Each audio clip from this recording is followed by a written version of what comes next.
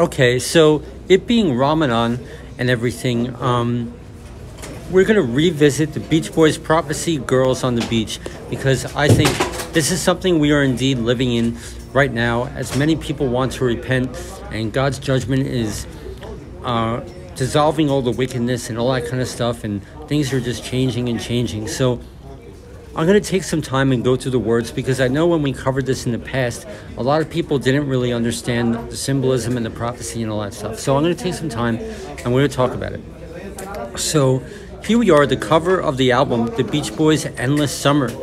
Okay, um, I will link these videos below, or I will at least try. Um, the act of Ramadan is really an endless summer. Okay, you, we can have an endless summer. It doesn't have to do with seasons per se. Even though we are in the depths of winter, right? But God's judgment is falling. He's turning the tables on the wicked, so we are still in summer. Summer is in winter. And um, the point of Ramadan is really to have an endless summer, okay? Is to come in um, onto the women that um, that are stuck on the beach and all that kind of stuff, come in onto them in righteousness, um, break the, the hardness of the hearts and bring them into the secrets of the kingdom and the truth of the kingdom and the beauty of the kingdom. Okay, so Right away, we have a background on the cover of this album that is yellow. Yellow is the color of fire, okay? God brings fire as judgment. Now, the Beach Boys' Endless Summer, the name of this album is in a banner. So in Islamic war, we put banners up. Um, we also see this in the Dead, Dead Sea Scrolls. And of course, the name of the Beach Boys um, means war. Okay, Beach Boys um, the sea is a representation of the devil's kingdom. Okay, so you could put that together. So the Beach Boys coming in on the girls on the beach is taking the women that are being that are bound to be swallowed up by the devil. And of course, it's no coincidence that this banner is orange.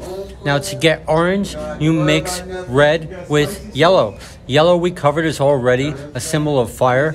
Red is the color of scarlet um, dispositioned sin, the scarlet thread. So when you mix those together, you get orange. It's a Halloween trick on the enemy, per se. This is why the Beach Boys on this cover of this album look like Israelites. And uh, it's interesting that the banner, the name of this album is on the foam of the wave. If you remember the book of Jude, foam represents the vanity of the world. So it's kind of exposing the Beach Boys for who they are. Um, it's interesting that Brian Wilson is in the foliage of Hawaiian foliage. Okay, of course, uh, that's a representation of paradise, and we see the pregnant lady on the left.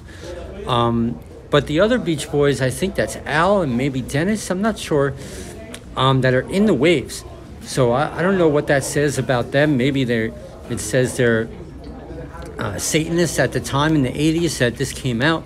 Um, Brian you know, I don't think he's necessarily um, righteous per se, generally speaking, but he wrote a lot of these songs, and these songs are from God. So maybe that's why he's in the foliage. And of course, this image we see the Beach Boys hunting, um, hiding in the foliage as warriors uh, to come in onto the women and save them from the devil's grasp. So that's our concept of the cover of this album. And of course, if you could understand these concepts, you could understand the band name, the Beach Boys, means warriors, okay? Those first coming into maledom. And as we discussed in our previous videos on the cherubim from the Holy of Holies, um, it's the males of men um, that are in the Holy of Holies. So um, this is coming into maledom. Um, these are uh, the jihads, per se. Okay, so let's dive into these lyrics. Uh, right away, the concept of the beach, we need to understand. The sea represents the devil's kingdom. So you can only imagine what the waves of the beach, those are the attacks from the enemy. And the sand, what does that represent? Those who have not built their house on the rock of Jesus or have built it on sand. So there are those who are in need, who are in trouble. And um, as we discussed before, so we have the girls on the beach. Okay? On the beach, you'll find them there in the sun and salty air. Okay, so these are, as the prophecies in Isaiah 56 already said, these are people who have consecrated themselves in their hearts to the Lord. They want to repent. So they're in the sun, but the air is salty. Um, the air is unbreathable, unedible, un you know unlivable. That's why the ocean is the devil's kingdom. Um, so the so it's the devil's reign in the air. So in the sun and the salty air. So they're in trouble. The girls on the beach are all within reach if you know what to do. Okay. Um, how we love to lie around girls with tans of golden brown. So what are the girls with tans of golden brown? Um, golden, of course, is the highest stature we could get, and brown is the end of a season.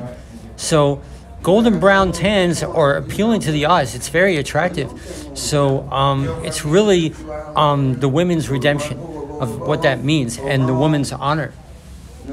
The girls on the beach are all within reach and one wait's there for you, etc. So here's the breakdown that Dennis sings, and this is pretty cool. The sun in her hair. Hair is symbolic of honor. Okay, so Christ is in her honor. The warmth of the air because summer is ruling. The south is the most choicest of lands.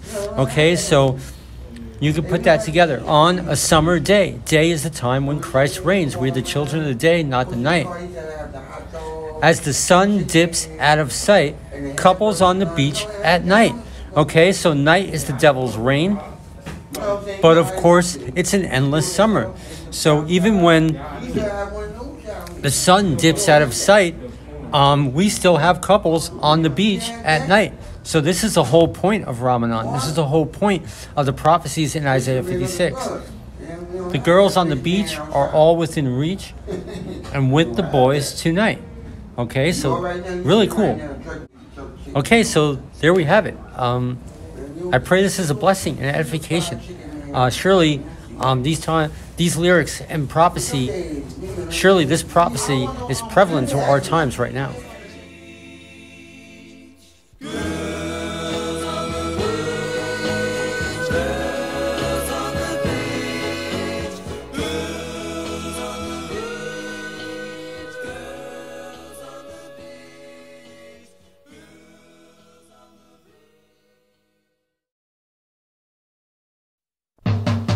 Catch a wave and you're sitting on top of the world. Don't be afraid to try the greatest sport around. Catch a wave, catch a wave. Those who don't just have to put it down.